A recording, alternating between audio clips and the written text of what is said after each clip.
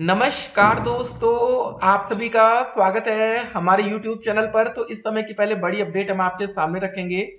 जी हाँ देख सकते हैं टीआरई 2.0 परीक्षा के आयोजन को लेकर।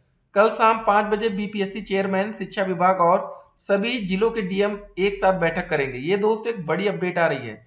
बीपीएससी अध्यक्ष कल करेंगे अहम बैठक। तो दोस्त, इस समय की बड़ी अपडेट है और उसके बाद हम बात करेंगे जो हमारे चेयरमैन सर का एक नया ट्वीट सामने आ रहा है। ठीक है? तो उन सभी ट्वीट्स को भी हम इस वीडियो में देखने वाले हैं। देखिए, एक और ट्वीट आज सामने आया। T R E two point zero O M R sheets there ठीक है। Would not be any text entries of roll number देखिए, हिंदी में भी इसको हम देखेंगे। T R E two point zero O M R sheet में रोल नंबर की कोई टेक्स्ट मतलब प्रविष्टियाँ नहीं होगी। इसी प्रकार विशेष संयोजनों को उनके अनुक्रम, अनुप्रयोगों के अनुसार माना जाएगा। इसलिए उम्मीदवारों को सावधान रहना चाहिए क्योंकि गलत प्रविष्टियों को कंप्यूटर द्वारा अस्वीकार कर दिया जाएगा और कोई मैनुअल क्रॉस सत्यापन नहीं होगा। ठीक है लास्ट टाइम दोस्तों इसको लेकर काफ़ी ज़्यादा विवाद हो रहा था। ठीक है ना? तो ये दोस्तों बड़ी अपडेट यहाँ पर सामने आ रही है।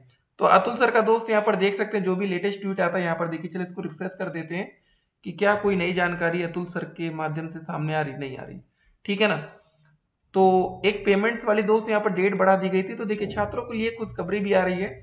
वही होता है ना कि जो बच्चे आवेदन करते हैं, उन्हीं को फ़ायदा मिल पाता है। ठीक है, यहाँ पर देखिए एक और अपडेट आई थी कि वे सभी टी आर ज़ीरो पंजीकृत उम्मीदवार जो पंजीकरण के बाद अपना भुगतान नहीं कर सके, उन्हें तेईस से चौबीस नवंबर को अपना भुगतान करने का एक आखिरी मौका दिया गया है। अन्यथा उनका पंजीकरण रद्द कर दिया जाएगा। दोस्तों, यहाँ पर देख सकते हैं। तो सभी बच्चे पूरे प्रयास कर रहे हैं। सीटेड जनवरी 2024 लास्ट डेट को एक्सटेंड कर दिया गया है। ठीक है, लेकिन दोस्तों अपेयरिंग छात्रों को मौका नहीं मिला। अगर अपेयरिंग छात्रों को मौका मिलता है तो इस बार भी कंपटीशन आपका आसान नहीं होता। ठीक है?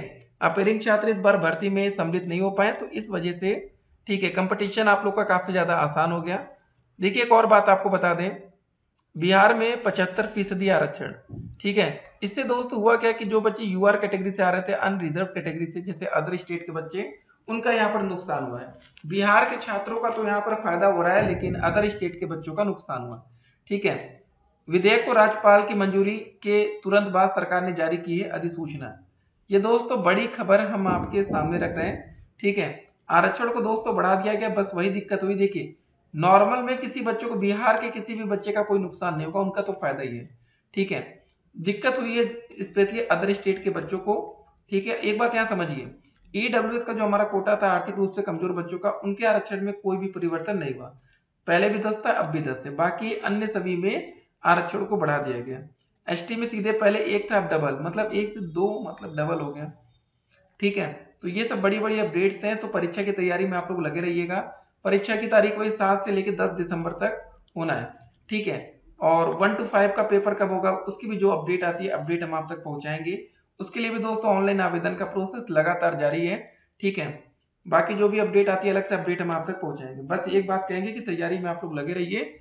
किसी भी प्रकार की आपको कोई भी लापरवाही नहीं करनी है। और इस बार अगर आप चाहते हैं कि आपका सिलेक्शन हो तो कोशिश पूरी करिए।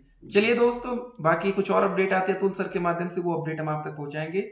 मिलते हैं एक और वीडियो में, तब तक के लिए स्टे कनेक्टेड आपका दिन शुभ हो।